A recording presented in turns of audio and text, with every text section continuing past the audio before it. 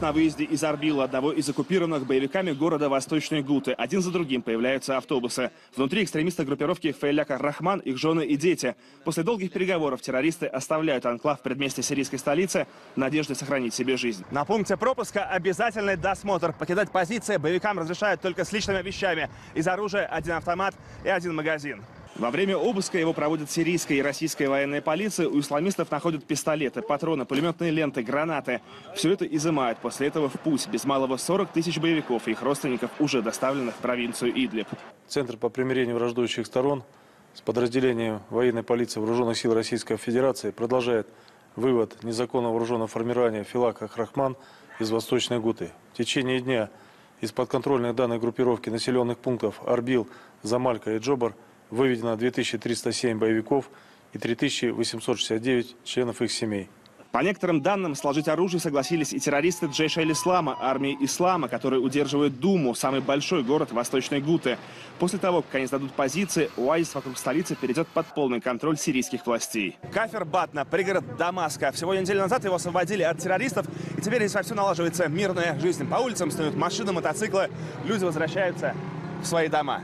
У террористов был здесь наблюдательный пост, а мы с семьей жили в подвале. Теперь пытаемся восстановить наш дом. Первым делом квартал прочесали саперы. Сейчас здесь уже восстановлено водоснабжение, есть электричество. Открываются уличные лавки, продуктовые магазины. Правда, большинство домов...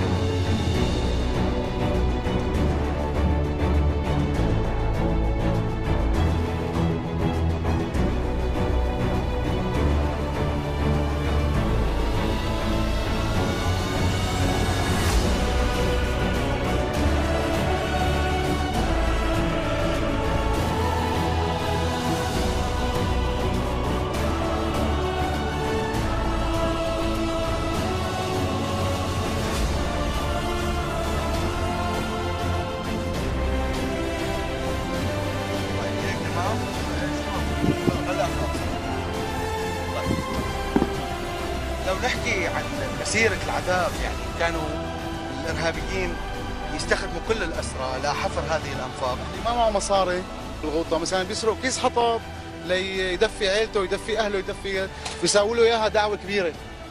إنه هو كفر بالله أو شغلة خرج عن الملة يعني.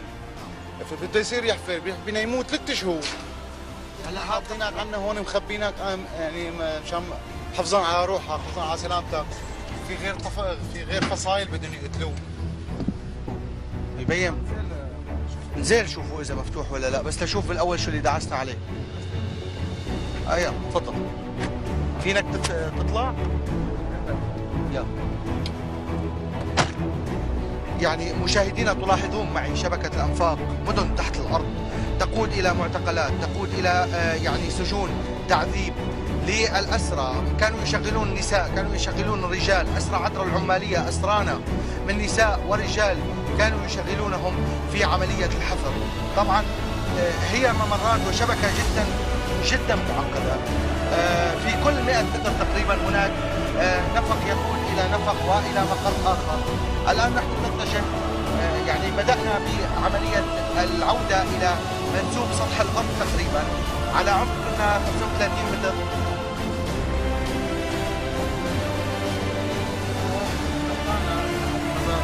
هلا نحن صرنا الآن في قبر أحد المخرج. هذا المبنى دائما بيكون في قيادي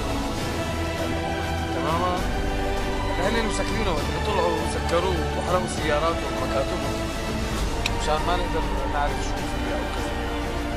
بس السجون كان شفناها اليوم الصبح كانت كثير واضحة. كيف قاعدين المساجين بدون بدون إضاءة.